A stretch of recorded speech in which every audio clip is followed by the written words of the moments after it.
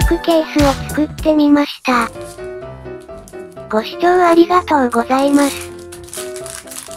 今回使ったのは歯切れとボタンです。まずはアイロンをかけます。次に 34cm×16cm のところに線を引きます。線に沿って切っていきます。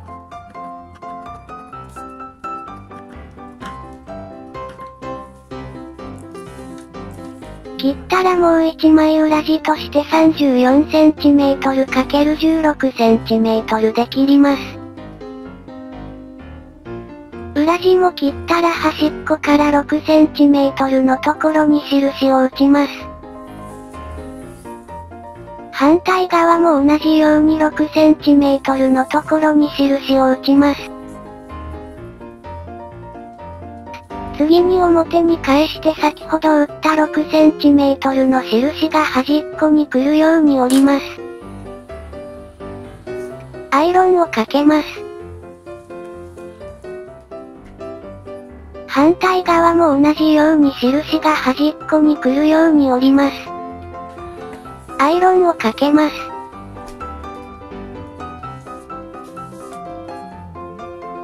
次に折ったところから半分に折ってアイロンをかけます。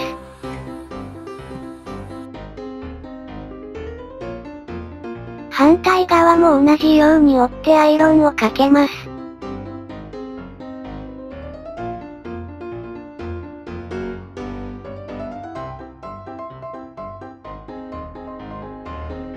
裏地も表地と同じように折ります。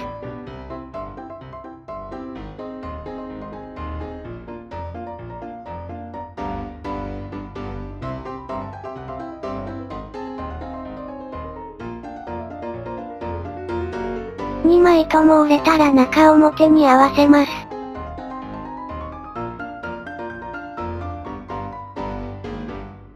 中表に合わせたら端っこから 1cm×1cm のところに印を打ちます。下側も 1cm×1cm のところに打ちます。次に先ほど印を打ったところから反対側の印まで塗っていきます。返し縫いもします。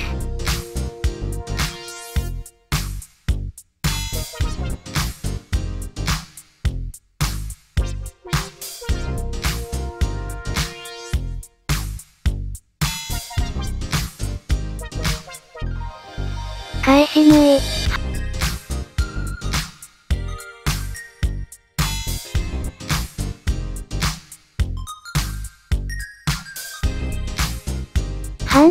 側も印から印まで縫います。返し縫い。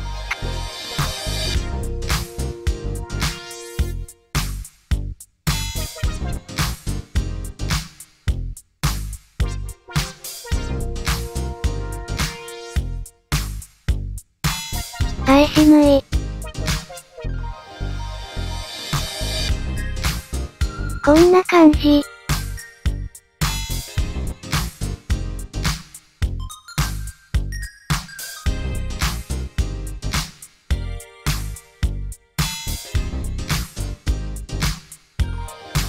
次に縫い目に沿って折ってアイロンをかけます。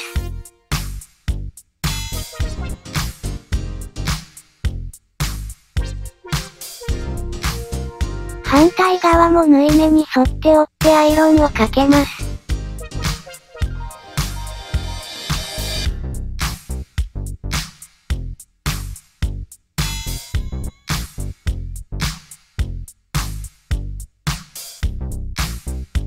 次に表に返します。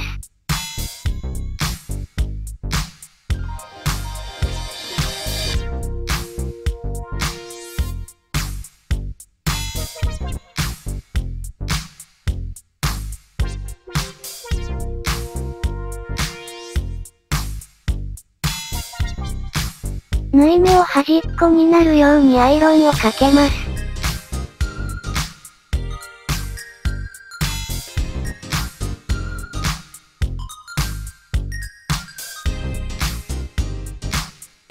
反対側もアイロンをかけます。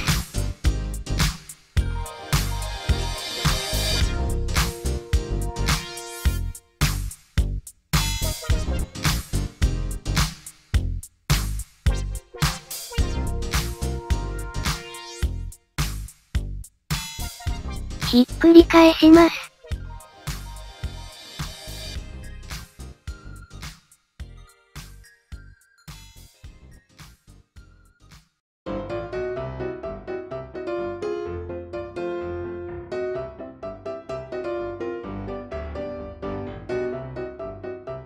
角をきれいにするために目打ちで中に入ってる生地を出します。反対側も出します。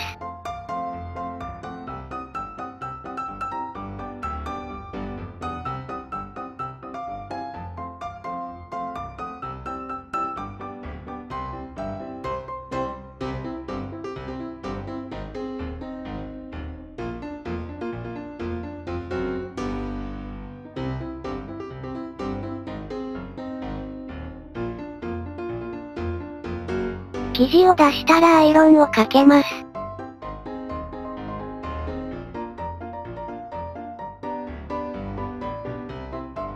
反対側も同じようにします。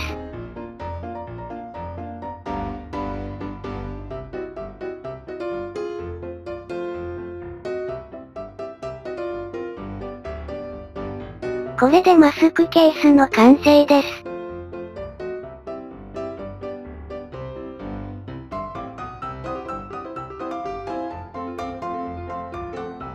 お好みでボタンなどつけるとおしゃれになります。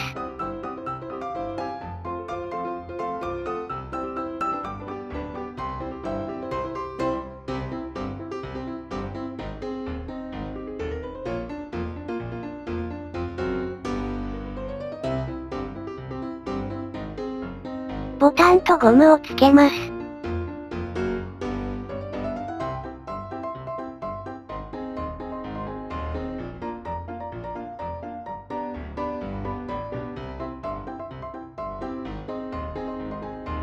ボタンの位置とゴムの長さは調節してくださいね。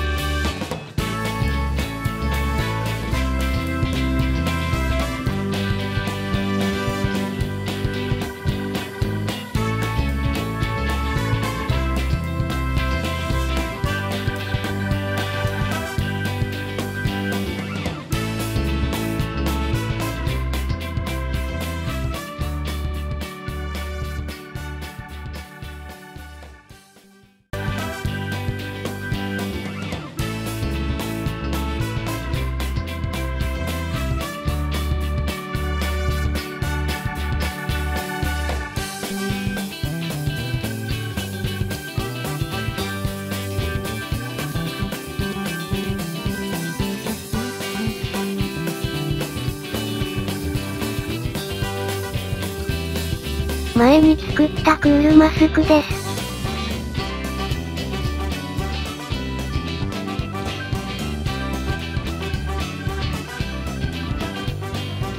完成です。ご視聴ありがとうございました。よかったら高評価、チャンネル登録、よろしくお願いします。